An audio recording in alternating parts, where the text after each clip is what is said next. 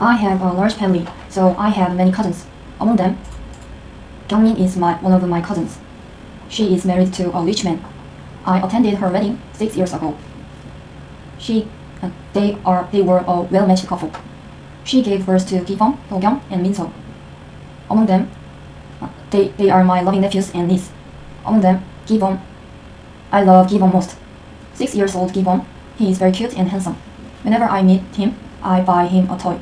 I buy him a toy.